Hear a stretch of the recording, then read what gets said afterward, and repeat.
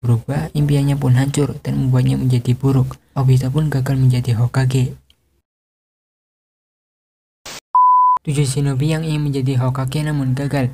Menjadi seorang Hokage adalah cita-cita yang sangat mulia, karena dirinya sudah berniat ingin melindungi dan membahagiakan semua orang, bukan hanya keluarga dirinya saja, namun untuk semua orang. Termasuk yang ada di desa Konoha ini, untuk menjadi seorang Hokage dibutuhkan kerja keras yang kuat. Salah satunya adalah agar semua orang bisa mengakui keberadaannya. Menjadi Hokage bukan hanya sekadar bualan saja, tetapi bertanggung jawab untuk semua orang, agar hidupnya tenang dari musuh atau apa pun itu. Di dunia Naruto, orang-orang yang ingin menjadi seorang Hokage sudah banyak. Ada orang-orang yang menganggap menjadi Hokage adalah cita-cita yang konyol dan ada juga yang menganggapnya serius. Tak terlepas juga dari shinobi-shinobi ini, ada yang menganggapnya main-main saja dan ada juga tidak serius. Tidak serius untuk mengejarnya, menganggap hal yang mudah untuk mencapai menjadi Hokage. Namun ada juga yang mati-matian untuk menjadi Hokage, tetapi takdir berkata lain, tak kesampaian juga hingga nyawanya telah tiada. Oleh karena itu, inilah tujuh shinobi yang ingin menjadi Hokage dengan kerja keras, namun ada yang gagal dan ada juga yang masih belum tercapai dan Zoshimura.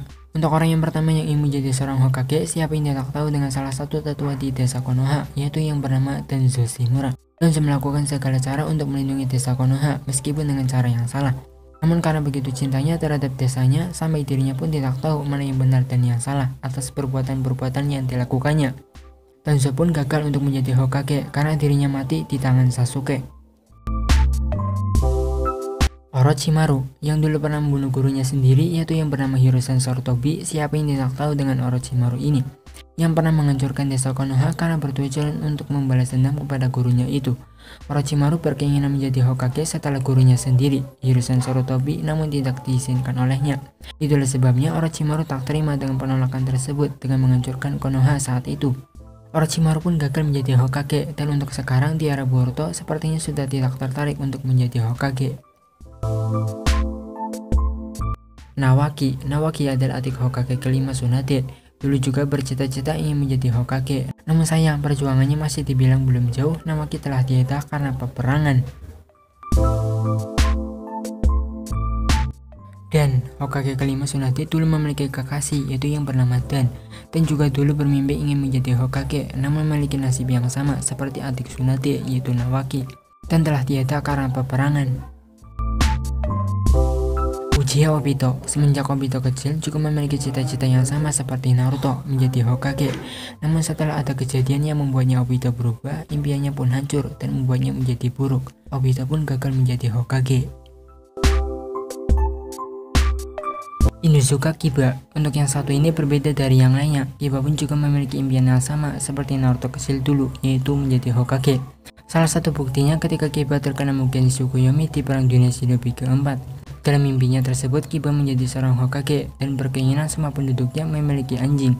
Entah di kenyataannya, meski belum tercapai, apakah Kiba Tiara Boruto masih berniat ingin menjadi Hokage atau tidak? Mungkin saja sudah tak berniat lagi, karena tidak serius tak seperti halnya Naruto. Uchiha Sasuke, siapa yang menyangka Sasuke juga pernah berniat ingin menjadi Hokage setelah dirinya tahu tentang Itachi yang sebenarnya. Sasuke berkeinginan menjadi Hokage namun yang berkuasa adalah Sasuke sendiri. Namun akhirnya Sasuke tersadar oleh Naruto karena niat Sasuke yang salah.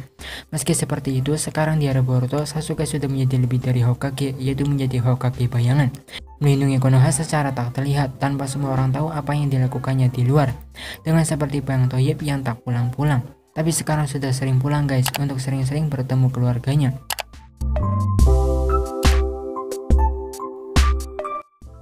Menurut teman-teman, manakah yang sekiranya mengejutkan atau seperti apa tanggapan teman-teman dengan tujuh shinobi ini? Jangan lupa lontarkan pendapatnya di kolom komentar. Dukung terus channel ini dengan klik tombol subscribe di bawah untuk yang belum subscribe. Terima kasih.